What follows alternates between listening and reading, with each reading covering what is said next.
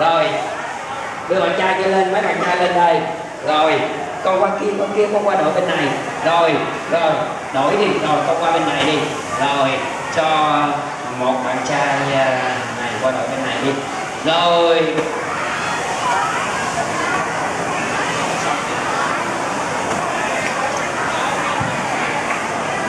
Rồi bây giờ tất cả các con chú ý. À, chú ý giang hai tay ra ôm bụng bạn mình vô, ôm.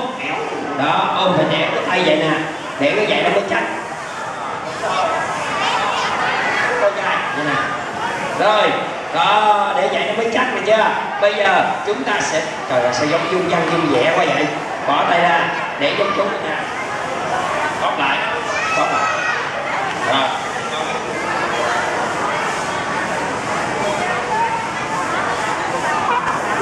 rồi bây giờ chúng ta sẽ có 3 hiệp đấu. Đội nào ghi nhiều điểm nhất đội thắng và sẽ được quà nhiều hơn. Nha hiệp thứ nhất chuẩn bị. Bắt đầu! Vô vô vô vô chà! Trời ơi hiệp một kết thúc hai đội lăn quay. Tỷ số không đều. Hiệp hai kéo bạn mình qua người chúng mới thắng. Trời ơi ông Ganh năm mấy ngày nay ông đi đâu giờ tôi mới thấy ông thắng. À, Trời xin lỗi con rồi hiệp hai đừng có buông bạn mình ra nha. Phải kéo bạn mình qua người chú mới thắng. Chú là cái mức nè. Chuẩn bị. Một hai ba. Trời ơi sao mà té hoài vậy? Rồi đứng lên đứng lên đứng lên. Cho bạn trai này lên đầu đi. Rồi rồi bạn ôm bụng bạn mình vô. Con đừng có buông ra nữa nha. Con mà buông là thua luôn á. Ôm giống chú nè để tay giống chú nè. Không con đen rồi đúng rồi. Bóp lại ừ, rồi rồi chuẩn bị nha. Một, hai, ba. Vô vô vô vô vô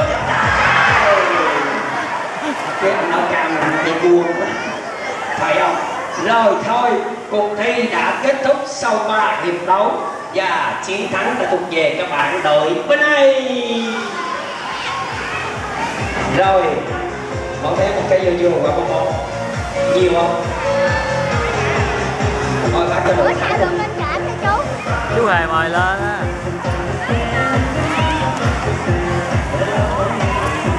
Rồi.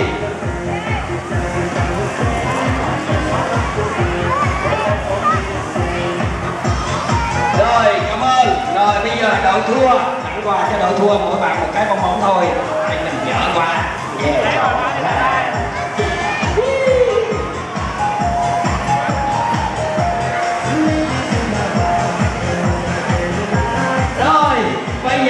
Mời các bé